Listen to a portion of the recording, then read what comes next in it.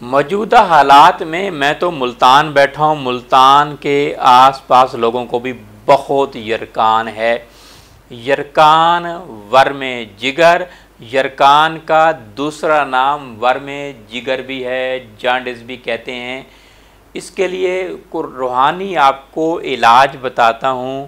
صورت البینہ تیسرے پارے میں موجود ہے۔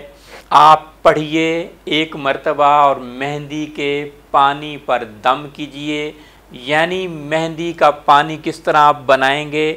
پندرہ گرام مہندی لے لیجیے۔ یعنی مہندی کے پتے آپ لے لیجیے۔ مہندی کبھی نہ ڈالیے گا مہندی کا سپوپ کیونکہ اس کے اندر کیمیکل ہوتا ہے، وہ سائیڈ ایفیکٹ ہوتا ہے۔ برگے مہندی آپ نے لینا ہے۔ ایک گلاس پانی میں ڈالیے اور اس کا جوشاندہ تیار کیجیے یعنی ابال لیجیے۔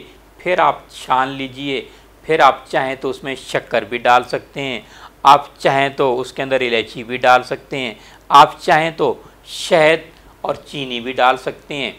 صورت البینہ، اول آخر درود ابراہیمی، پڑھ کر مہندی کے پانی پر دم کیجیے اور وہ مہندی والا پانی پی لیجیے۔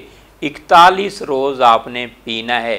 انشاءاللہ اللہ کے حکم سے یرکان اور ورم سے، ورم جگر سے آپ کو نجات ہوگی۔ صورت البینہ آٹھ آیات پر مشتمل ہے۔ شروع اور آخری حصہ میں پڑھ دیتا ہوں۔